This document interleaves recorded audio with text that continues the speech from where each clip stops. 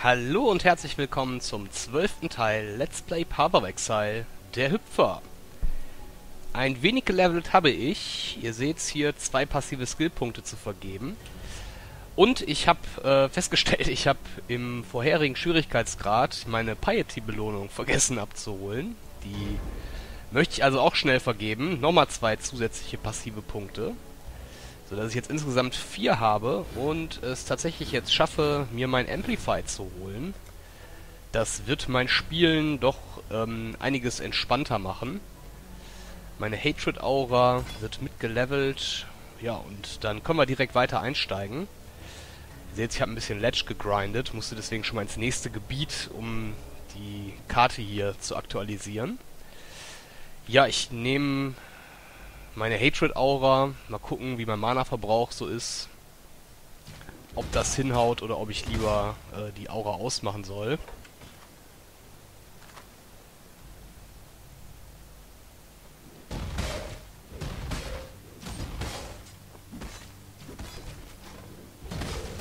Ja, und dann hüpfen wir... Uh, wow. Ach, ich Depp. Was war das? Ähm... Irgendwas habe ich gerade übersehen. Da war wohl irgendwie eine Reflexion drauf. Physischer Schaden vermutlich. Ähm, ja, das war jetzt etwas ungeschickt. Nehmen wir mal die Determination Aura.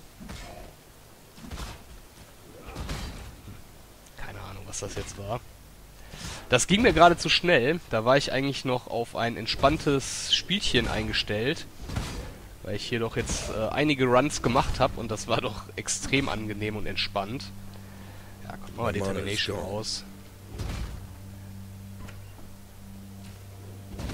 Ich glaube, im Moment brauche ich gar keine Aura benutzen.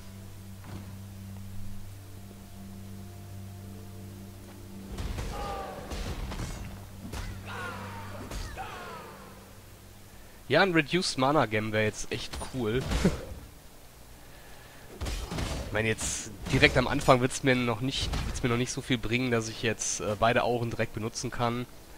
Aber das wird nochmal bestimmt ein deutlicher Sprung auch in der Stabilität des Charakters sein, wenn das also alles läuft. Beide Auren aktiv, dauerhaft und ohne Probleme mit dem mit der Mana-Versorgung beim Angriff. Wenn wir da hinkommen, dann ist eigentlich das meiste erledigt bei dem Charakter.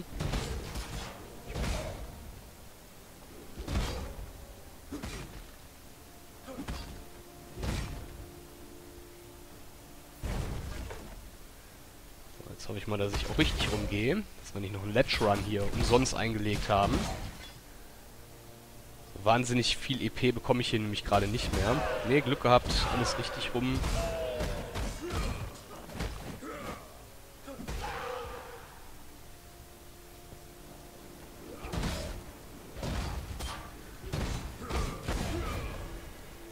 Kleines Level-Up gab es dann doch noch. Dann wollen wir das auch direkt vergeben. Ja, hier oben einige nette Sachen noch in direkter Reichweite. Ein schöner Schadensknoten, ein schöner Lebenspunkteknoten. Und ich nehme jetzt einfach erstmal die Lebenspunkte mit. Heavy Strike leveln wir. Mal schnell 1500. Ja, ist ein bisschen wenig. Also da möchte ich mittelfristig doch dann eher auf 2500 kommen.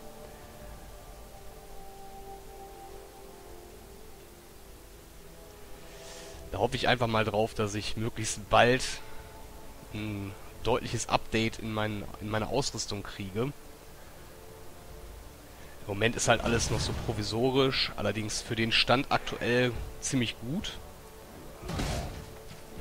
Also ich kann noch im Nachhinein nochmal sagen, dass es wirklich ähm, extrem praktisch und clever war, sich diesen Helm zu besorgen. Gold Rim. Der ist wirklich extrem gut am Anfang. Kann man glaube ich sogar schon mit Level 1 direkt tragen. Und dann hat man eigentlich im Grunde, wenn man den Helm besitzt, schon die Resistenzen für den ganzen ersten Akt abgedeckt. Das ist ein so ein Ausrüstungsstück, was man sich überlegen sollte, wenn man länger in so einer Liga spielt und überlegt, sich eventuell eine Ausrüstung zurechtzulegen für Neubeginner-Charaktere, wenn man dann einen neuen Charakter hochziehen möchte.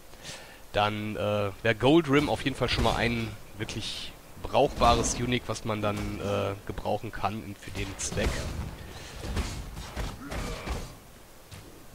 Auf kurz oder lang fehlt halt einfach das Leben drauf.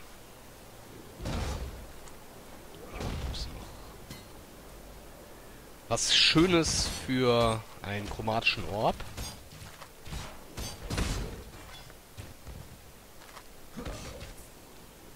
Noch was.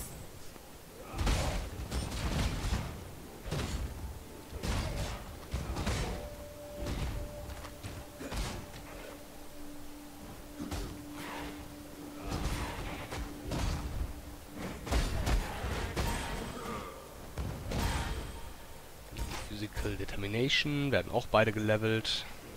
Jetzt sollten wir eigentlich gleich im Gefängnis ankommen. Jawohl.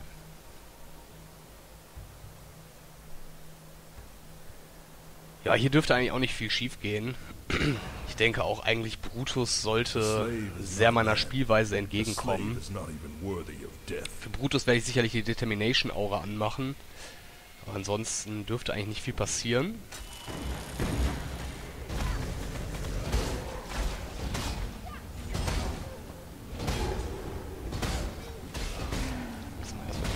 Gegner weg. Da hinten haben sich auch noch welche versteckt.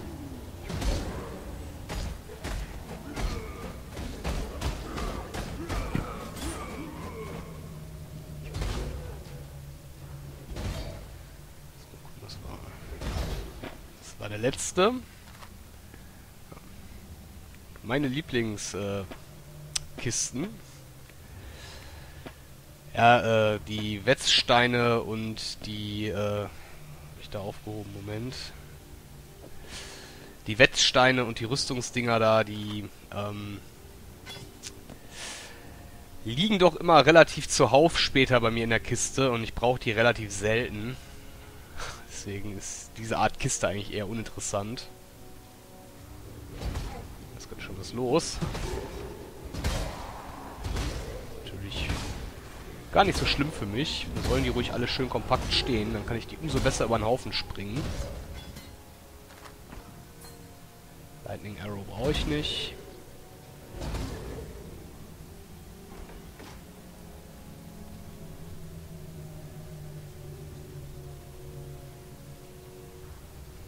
Schon gewundert. Sah auf der Karte irgendwie komisch aus.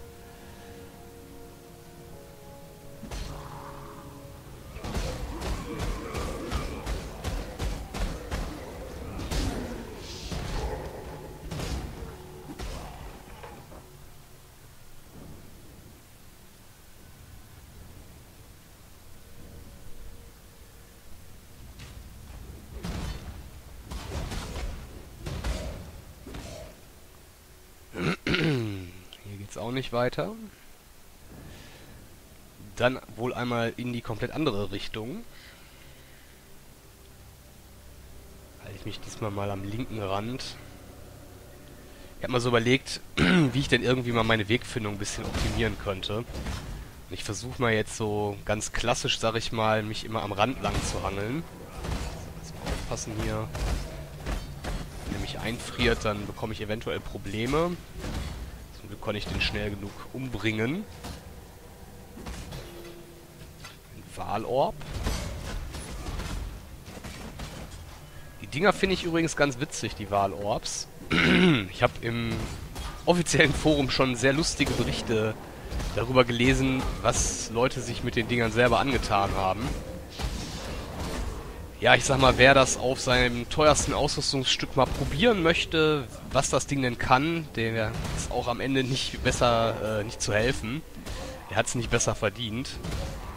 Also man kann mit Hilfe dieses Orbs äh, sehr, sehr gute Unique-Items komplett zu, äh, zugrunde richten. Der kann nämlich äh, grundsätzlich alles ändern. Der kann die Seltenheit ändern. Das macht er wohl auch ganz gerne bei Unique Items. Der macht da gerne mal einen seltenen äh, Ausrüstungsgegenstand draus. Und der würfelt auch die Links komplett neu zusammen. Also die Anzahl der Sockel kann sich ändern, die Links kann sich ändern, die Farbe kann sich ändern. Ähm, da ist vieles äh, möglich, was den Gegenstand ruinieren kann. Ähm, ich benutze den ganz gerne zwischendurch mal, oder ja, mit dem Charakter habe ich es noch nicht gemacht, aber mit meinem ähm, Flicker Striker, dass ich mal zwei Wahlorbs in äh, weiße Dolche investiert habe. Und das Ding ist im Grunde eigentlich wie ein äh, noch besserer, noch äh, zufälliger, zufälligerer ähm, Chance Orb zu sehen. Also ähnlicher Nutzen eigentlich. Würde ich sagen, ist am besten in weißer Ausrüstung aufgehoben, äh, mit, aus der man, man irgendwas Tolles machen möchte. So, nächste Strongbox.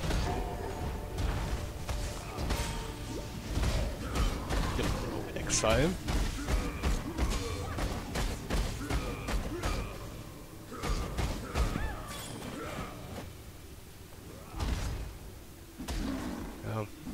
Eigentlich äh, nette Kiste von ihrer, von ihren Eigenschaften her. Ist natürlich nur doof, wenn äh, Flaschen drin sind. gucken wir mal, dass wir den ganzen Krempel hier mal in die Stadt bringen zum Verkaufen. Da ist ja auch was Praktisches noch dabei. Kann ja durchaus sein. What little help I can offer is yours. Erstmal die Orb-Lieferanten weg.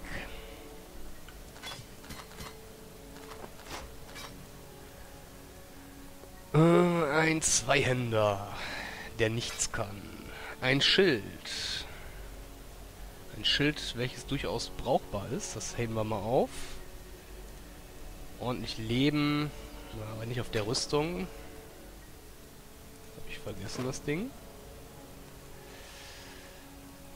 Äh, ja, nee, kann auch weg. Weg. Bisschen physischer Schaden, aber nicht wirklich viel, kann also weg.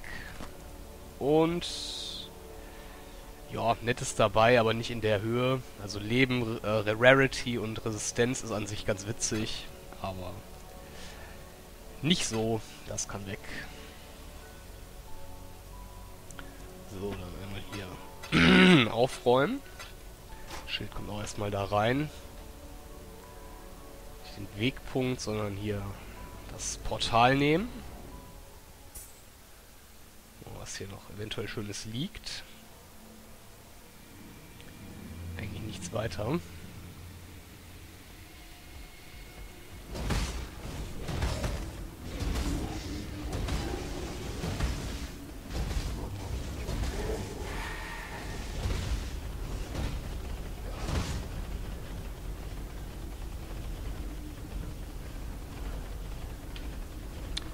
Ja, zielsicher für die falsche Ecke entschieden. bleiben wir mal am rechten Rand und hangeln uns hier mal weiter.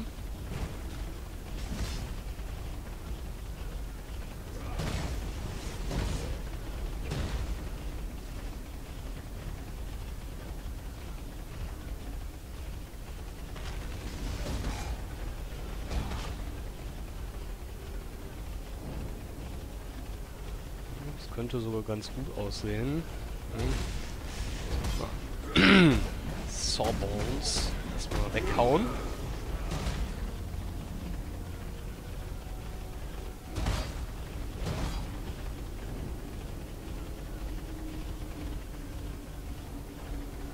Okay. Ich dachte, das sähe gut aus, aber... Ach, da oben ist doch... Ne, da komme ich her. Huch, jetzt muss ich mal den ganzen Weg zurückrennen hier.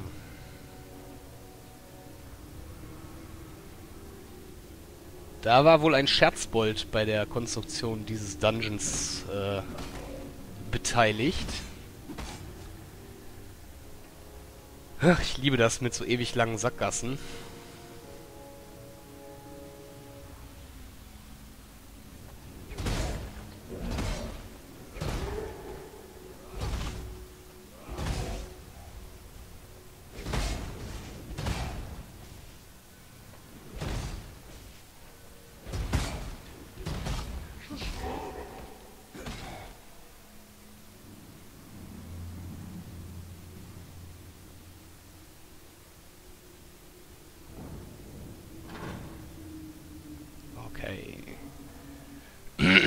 Da sind wir. dann auf jeden Fall erstmal Determination Aura anmachen. Das wird bei äh, Bruto sicherlich helfen. Dann hoffe ich mal, dass es gut geht, wenn ich jetzt einfach in den Nahkampf mit, den, mit dem gehe und einfach gucke, wer stärker ist.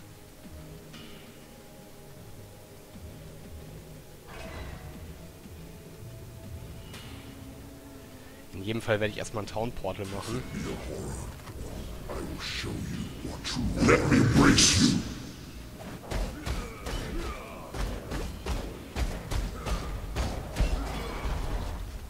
Now your spirit will be the plaything of the ancestors, slave master. So. ja, die restlichen Sachen können liegen bleiben.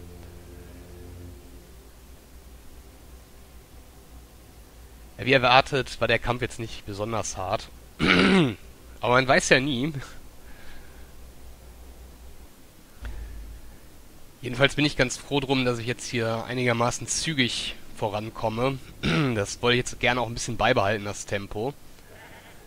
Einfach gucken, dass ich vorankomme, dass ich in bessere Levelgebiete komme.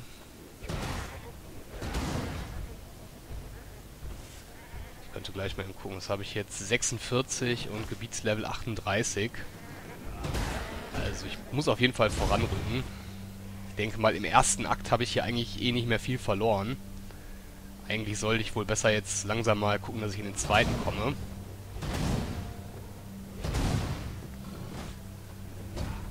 Vorteil, hier kann ich wieder schön abkürzen, indem ich einfach hier ein bisschen runterspringe. Brauche ich nicht die angedachte Wegführung benutzen, sondern kann hier meinen eigenen Weg suchen. And stay dead.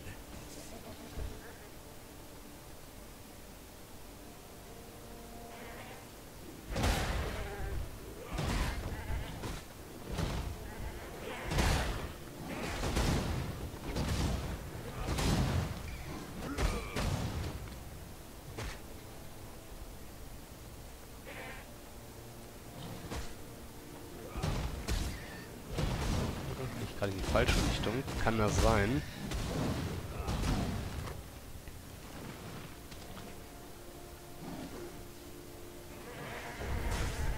Oder doch nicht? Das ist ein bisschen der Nachteil, wenn man äh, Abkürzungen springt, dass man äh, sich schon mal ein bisschen verlaufen kann hier.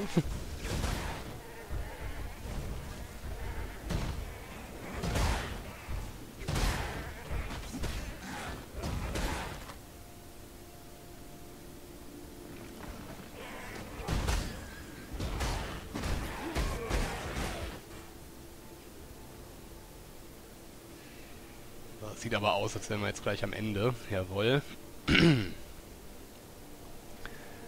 Also, Ship Graveyard. Da holen wir uns auf jeden Fall gleich jetzt eben erstmal noch die Quest ab, dass wir den Skillpunkt haben.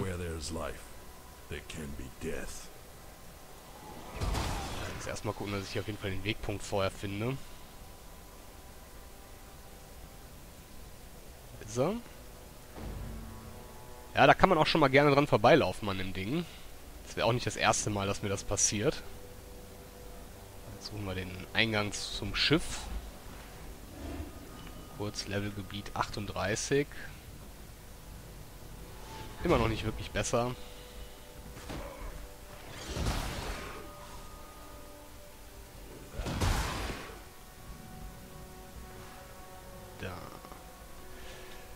Graveyard Cave, da wollten wir hin.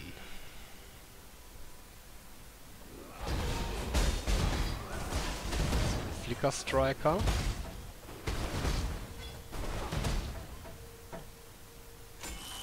Schon wieder ein Rogue Exile. Das wird langsam zur Gewöhnung.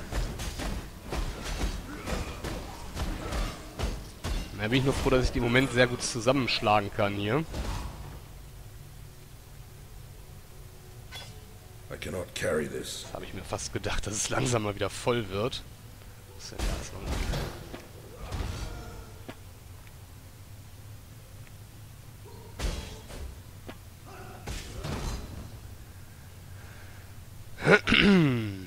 Kann man da nicht noch was machen?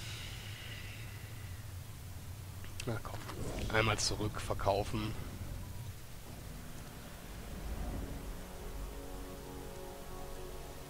Bes- Mervale dwells in the cave.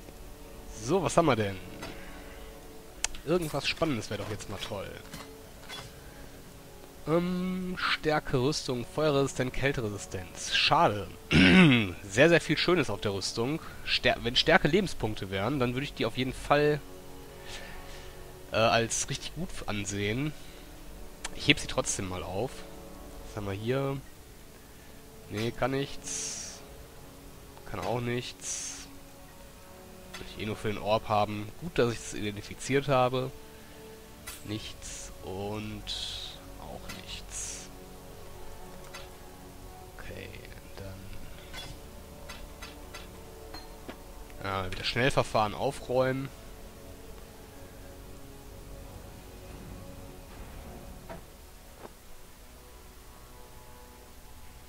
Weiter geht's.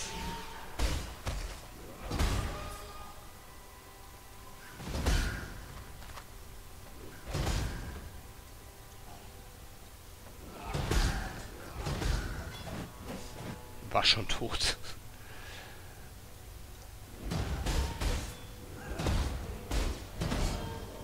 Ich weiß nicht, habe hab ich euch eigentlich schon mal gezeigt, wie das aussähe, wenn ich meinen Leap Slam mit äh, Multistrike zusammen benutze. Das ist eigentlich auch ein ganz witziger Effekt. Ähm, allerdings macht es es schwierig, damit nochmal zu reisen und äh, ein bisschen doof aus, wenn gerade kein Gegner mehr in der Nähe ist. Dann springen wir so auf der, St auf der Stelle.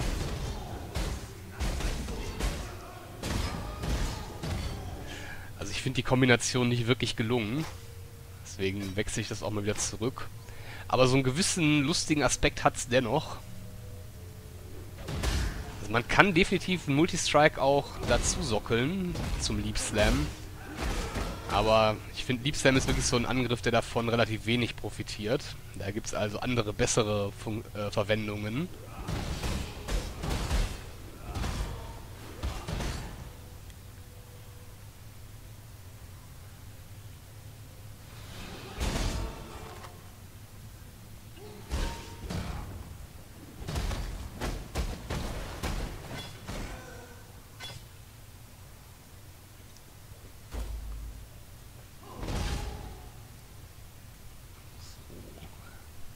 haben wir das auch. Dann heißt es jetzt, na, brauchen wir gar nicht suchen. Kann sagen, dann heißt es jetzt äh, Captain Fairgrave suchen.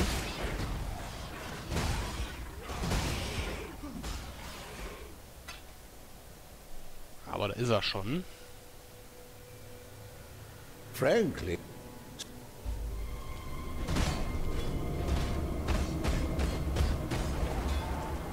The Lucius. remember you, Fairgraves.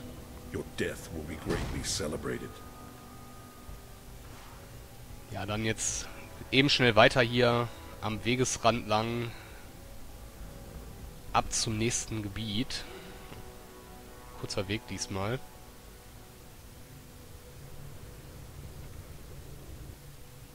Und dann jetzt auch hier, was haben wir? Level 39. Immer noch nicht wirklich spektakulär besser. Also auch hier relativ zügig durch.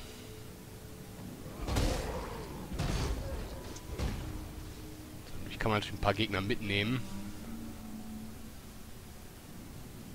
Aber gerade diesen langsamen Zombies möchte ich jetzt eigentlich auch nicht hinterherlaufen. Ja, ein paar Champions, die nehmen wir natürlich gerne mit.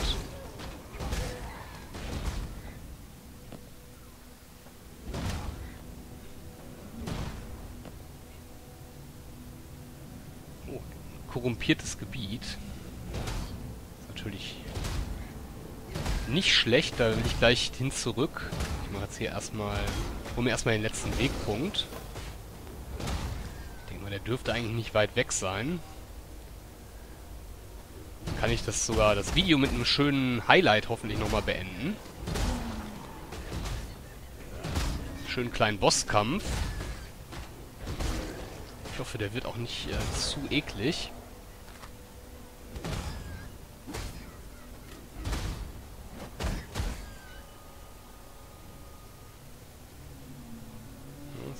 bisschen mehr weiter der Weg, als ich eigentlich dachte.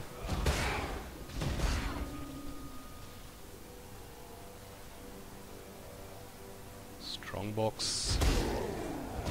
Nicht magisch oder sonst irgendwas. Wenn wir haben, könnten wir jetzt das Ding mit dem Orb magic, äh, magisch, mein Gott, magisch machen. Ähm, ja, habe ich ein paar Mal gemacht. Lasse ich auch schon mal weg. Findet auch so eigentlich äh, genug Strongboxen, die von sich aus schon magisch oder gar rare sind. Deswegen äh, empfinde ich das jetzt nicht als so wichtig, jede, die auf dem Wegesrand liegt, selber auch noch aufzuwerten. Also da behalte ich, also da spare ich lieber meine Crafting-Materialien für andere Dinge. Okay, dann haben wir den Wegpunkt. Letzten Wegpunkt in dem Akt. Merville wollte ich sowieso dann nicht mehr angehen heute. Dann beenden wir das Video jetzt gleich mit dem korrumpierten Gebiet. Müssen wir nur einmal schnell wieder hin zurück.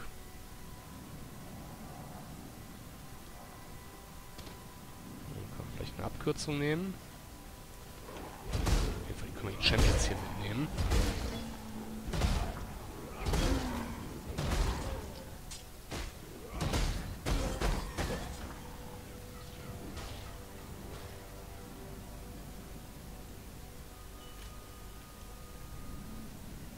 So, was erwartet uns denn da?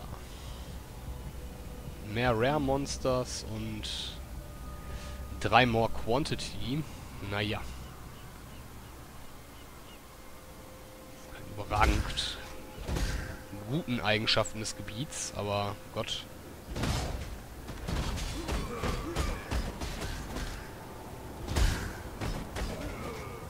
Gucken wir mal, was uns erwartet. Da sind wir schon.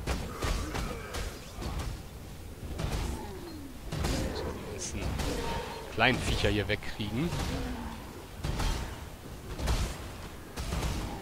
Spectral Throw. Oh, und ganz viel Storm Call.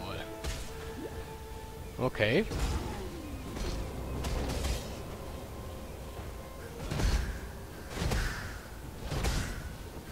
My mono's gone.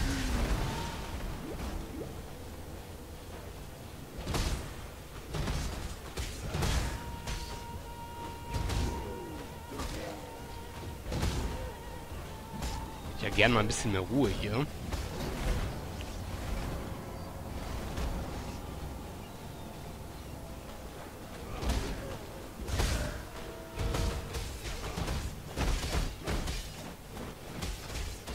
So, mal gucken, wer stärker ist.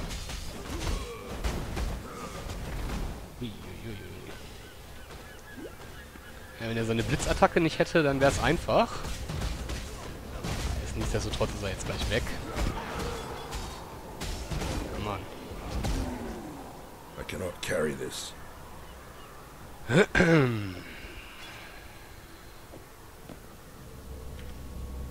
Okay, dann schauen wir mal, was alles hier liegen geblieben ist. Barrage brauchen wir eigentlich nicht. Wobei der Skill durchaus äh, eine Verbesserung bekommen hat.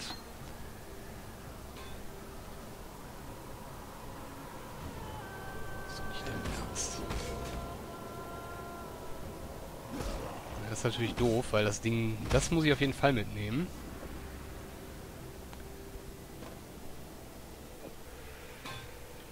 Ja, dann lassen wir das andere Teil zurück.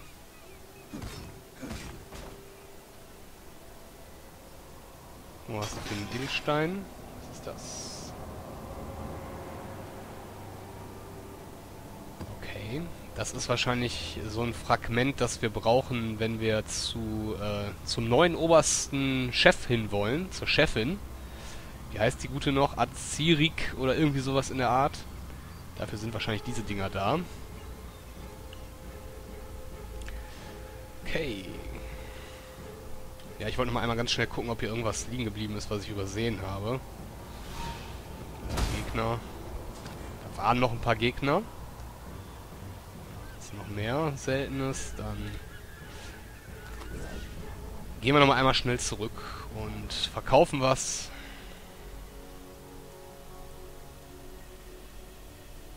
If you must take your chances. Jetzt gibt es erstmal hier noch äh, ein... Oh, ich bin wichtig. Äh, gibt es erstmal hier noch ein Edelsteinchen. Blood Magic Life Leech. Ja, das mache ich, mir, mach ich mir gleich Gedanken drüber.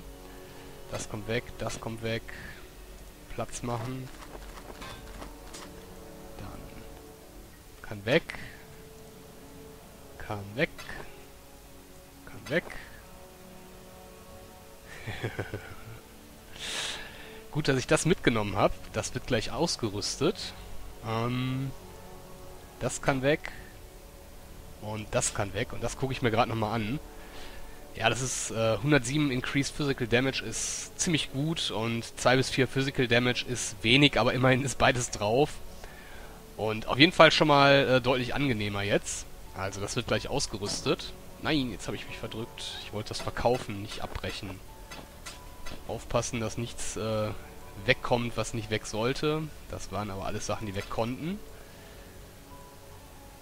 So, dann einmal wieder zurück und die anderen Gegenstände noch mitnehmen.